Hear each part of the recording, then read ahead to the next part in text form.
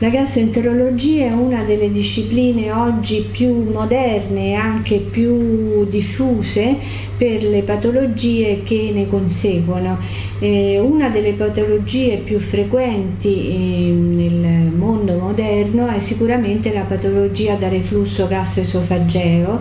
che spesso si presenta con dei sintomi del tutto atipici e che mh, portano il paziente a volte a contattare altri specialisti perché il reflusso gastroesofageo può interessare altri eh, apparati come l'apparato cardiaco, il, respiratorio o l'apparato otorino-laringoiatrico. La patologia da reflusso spesso è, ehm, è collegata alla presenza di un'ernia iatale eh, dello stomaco, ma questo non sempre è vero perché può essere anche causata da una eh, incontinenza del cardias senza ernia iatale, può essere più o meno correlata ad una gastrite più o meno importante, più o meno ehm, eh,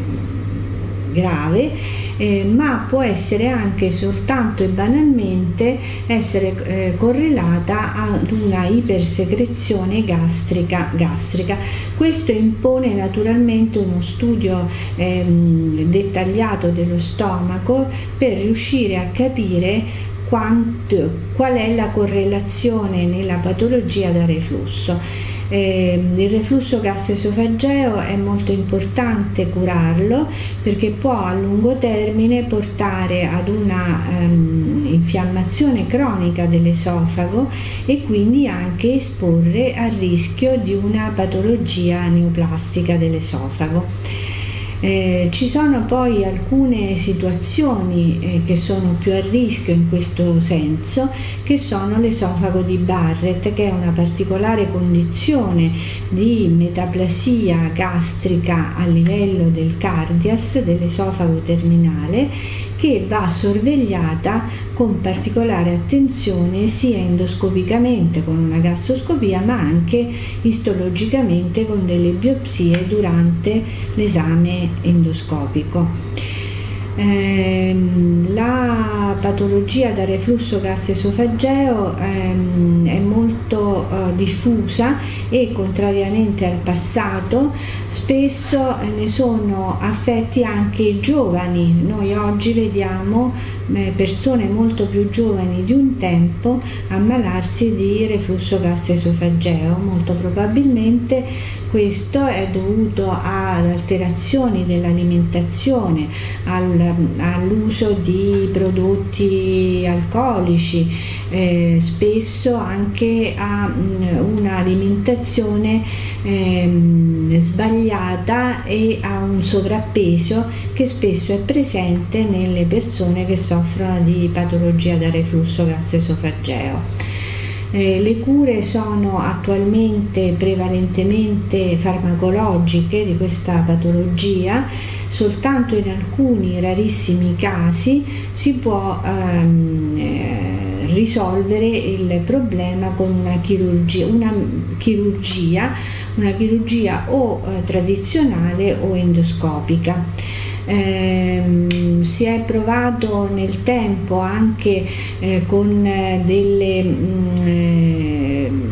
con delle cure endoscopiche che però non sono andate poi in porto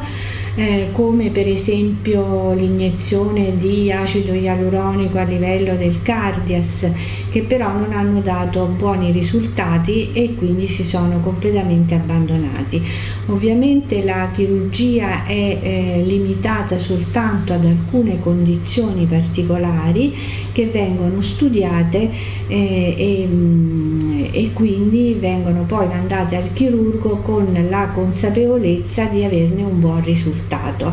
Le, l'ernia iatale eh, se è piccola non deve essere mai toccata chirurgicamente, mentre invece la chirurgia è un'ottima soluzione per le ernie iatali molto voluminose che mh, oltre a dare una patologia da reflusso gastroesofageo possono dare anche dei disturbi di origine meccanica, di ordine meccanico. In questo caso la chirurgia è ehm, in molti casi risolutiva. Naturalmente per stabilire e studiare bene una patologia da reflusso eh, bisognerà innanzitutto fare un'esofago gastroduodenoscopia con prelievi bioptici eh, che mh, è eh, importante per definire eh, la, eh, l'attuale condizione dello stomaco, se c'è o non c'è una gastrite, se c'è un'ernia iatale, se c'è soprattutto associata a un'esofagite da reflusso. Difatti nella, nella patologia da reflusso gastroesofageo non sempre noi troviamo endoscopicamente delle lesioni esofagee, spesso l'esofago non, ha, non presenta ulcere né eh, particolare infiammazione, ma eh, i sintomi invece da reflusso possono essere molto importanti e molto fastidiosi dal punto di vista clinico quindi non c'è una stretta correlazione tra eh, gravità delle lesioni endoscopiche e eh, gravità della condizione clinica, cioè della sintomatologia clinica.